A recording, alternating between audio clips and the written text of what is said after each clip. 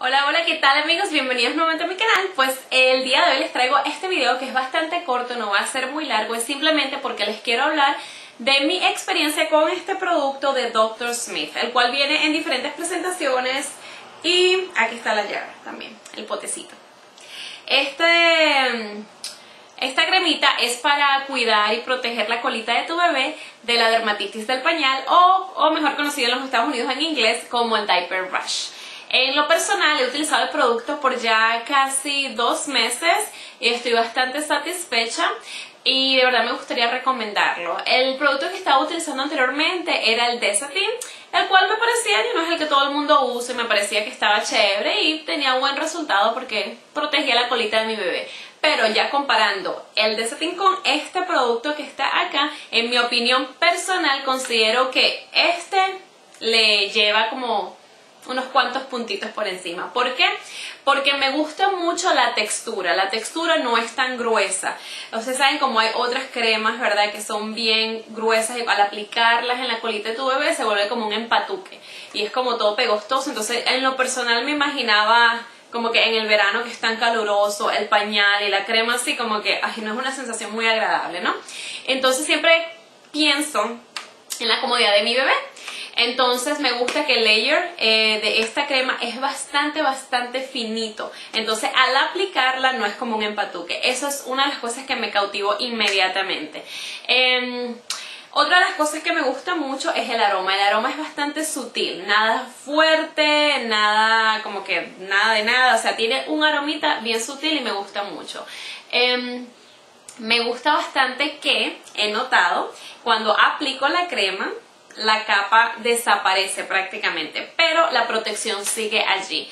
¿Cómo me explico? No sé. Que nos queda la colita blanca, como cuando aplico otras cremas para proteger la colita de mi bebé, se queda como blanca, no, esta simplemente se, yo la, le doy un masajito en su colita y a medida que voy eh, rotando así en círculos, va desapareciendo. Pero si tocas todavía está bien protegida la colita, la crema está allí, simplemente es como que se vuelve como una crema digamos, invisible, en mi opinión personal. Me encantó. Así que sin duda alguna yo recomendaría estos productos de Dr. Smith. No tengo ninguna... Nada, nada negativo que decir acerca de ellos, de lo contrario.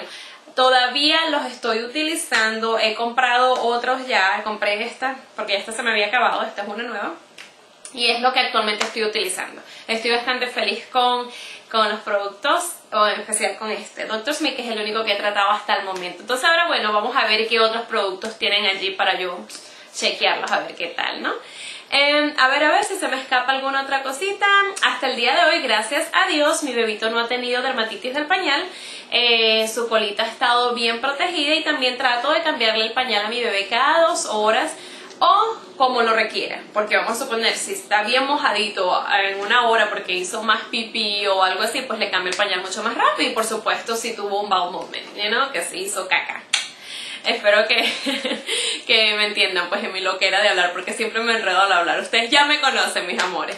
Este, a los que me están viendo por primera vez, les, los invito a que vean el resto de mis videos. Los invito a que me sigan en Facebook y en Instagram, que siempre estoy poniendo cositas allí de lo que estoy haciendo o de cositas que compro, que me gustan y bueno, etcétera, etcétera. Así que están más que invitados. Recuerda suscribirte y por favor darle like y no te olvides de comentar. Tú cuéntame cuál cremita estás utilizando para la colita de tu bebé y dame algunos consejitos, comparte con todos nosotros, ¿verdad? Porque aquí estamos todos como, eh, como amigos. Pues vamos a ver qué dice esta, qué dice esta, porque probablemente lo que estoy diciendo yo no te sirva a ti, pero quizás tú tengas algo que me puede servir a mí. Entonces así, así estamos, ¿no?